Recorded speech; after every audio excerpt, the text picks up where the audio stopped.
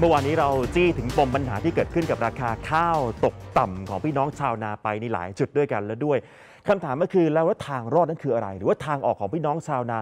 ในระหว่างที่รอราคาข้าวมันขึ้นเนี่ยทางออกนั้นคืออะไรนะครับติดตามกันต่อกับรายงานพิเศษคุณธินภพพันธนามครับ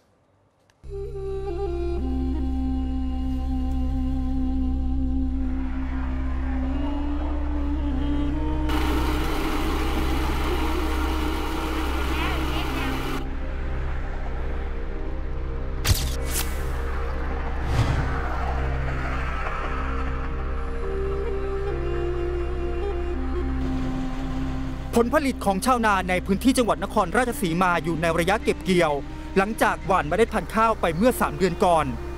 พวกเขาหวังว่าผลผลิตเหล่านี้จะช่วยปลดหนี้ แต่สุดท้ายข้าวกลับราคาตก ชาวนาหลายคนเลือกที่จะเก็บข้าวเปลือกไว้ไม่ขายให้กับโรงสีหรือพ่อค้าคนกลางนะครับ หลังจากได้รับผลกระทบจากราคาข้าวตกต่ำเฉลี่ยกิโลกรัมละ6ถึง10 บาทเท่านั้น ขึ้นอยู่กับระดับความชื้นของข้าวเปลือกนะครับ ชาวนาเหล่านี้หลายคนจึงตัดสินใจนำข้าวเปลือกไปสีและขายเอง เพื่อหาเงินมาใช้หนี้ที่กู้มาลงทุนทำนาในปีนี้ครับชาวนาในพื้นที่อำเภอแก้งสนามนางคนนี้ ตัดสินใจซื้อผ่อนเครื่องสีข้าวขนาดเล็ก เพื่อแปลงข้าวเปลือกเป็นข้าวสาร ก่อนแพ็คใส่ถุงวางขายกิโลกรัมละ 30-35 บาท และยังไม่ต้องเสียข้าวปลายให้กับโรงสีอีกด้วย สีเขาเองสามมือแล้วเนี่ยเจ้าสีเขาเนี่ยก็ว่ากะว่าเขาขายได้นี่สิเก็บไปใหายค่ารถเกี่ยวเพราะว่าค่ารถเกี่ยวเขาก็ไล่ละเจ็ดร้อยเดี๋ยวนี้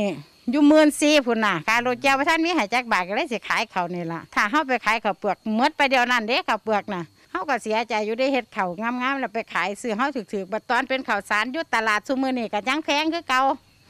ถ้าว่าเขาวเปลือกถือข้าวสารอยู่ตลาด มันคือบ่ถือคือกันในเมื่อ เพิ่นซอยเฮาบ่ได้เฮาก็ต้องซอยเจ้าของก่อนล่ะ ส่วนที่อำเภอศรีดาภาพที่เห็นชินตา คือร้านขายข้าวสารริมถนนมิตรภาพ ซึ่งชาวนาตั้งใจเปิดร้านขายเอง ไม่ผ่านพ่อค้าคนกลาง บางรายมีรายได้จากการขายข้าวสารด้วยตัวเองถึงวันละ 8,000 บาทขายดีสุดเท่าไหร่แม่ถล่มทลายก็ 8,000 บาท จะเอาไปขายแค่กินก่อนไอ้ส่วนที่เหลือเยอะๆ เราเก็บไว้ก่อน เรารอให้ข้าวขึ้นเราต้องไปขายอะไรเงี้ยแต่ชาวนาเขาไม่มีไรายได้อื่นเขาก็ต้องเอาไปขายแล้วทีนี้เขากู้ทกสมาหรือกู้เงินมาเขาต้องขายยกเลยอะเป็นชาวนาแต่ก็พอมีเงินอะเอาไปขายที่นี่เดี๋ยวไหนพอได้มาซื้อกินเลยแล้วรอรอรอข้าวขึ้นแล้วขายทีเดียวทั้งนี้มีข้อมูลว่าข้าวเปลือก 2 กระสอบปุ๋ย หรือ 70 กิโลกรัม จะได้ข้าวสารกลับมาเพียง 40 กิโลกรัมเท่านั้น